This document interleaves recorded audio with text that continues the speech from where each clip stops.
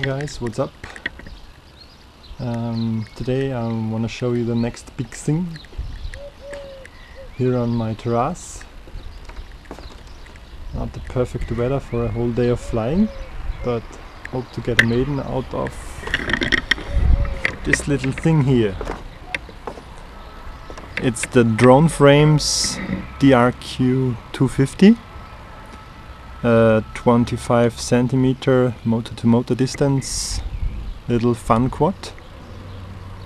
At the moment and because I didn't fly it yet it doesn't have the FPV and video on. But we will see if it flies. It's small quad with KK2 and you see the size compared to the Taranis it's really small. And it even has foldable arms.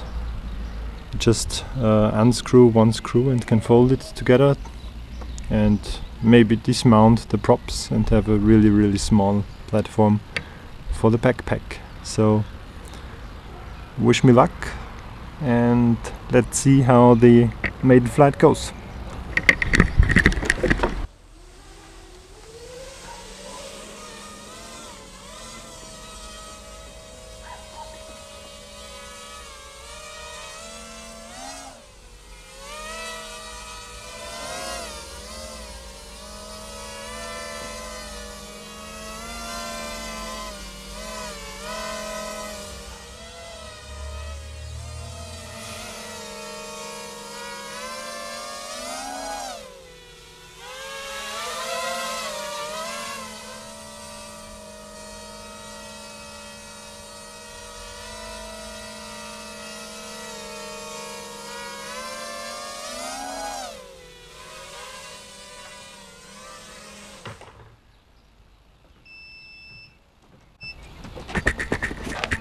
worked quite well I'd say.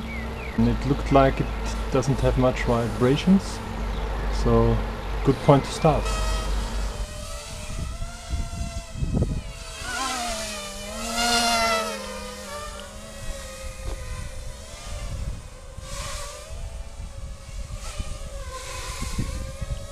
And because it flew so well and behaved good, uh, for the next step I mounted the video platform which gave it an additional 100 gram or so of weight. And with this changed weight, I had to reduce the gains, um, and it also was quite windy when I did those second flight tests. This was my first round with the FPV goggles on, and it was quite scary because I had the camera facing upwards. And if you want to hover or even land, you don't see anything and this thing gets fast in different directions so quick. Um, it was rather scary and I will try more FPV uh, in a more open space of course and finally hope for some racing. I want to thank Ubay from Drone Frames for sponsoring me the frame and helping me with the electronics selection and also Rory from EFPV Co UK. Check out their webpage if you want to order this frame. And I hope you get the electronics, the motors and the ESCs because they are quite sold out at the moment of this video. If you have some left minutes left, watch my build time lapse and yeah, it was quite um, some work. And I had problems with the placing of the ESCs because it's so small. And I had to mount them alternately with cables looking down through the bottom and soldering them together there. Not a nice solution, but it worked. Other than that, it was quite an easy build, and KK2 board is so easy to set up. Um, motors worked instantly.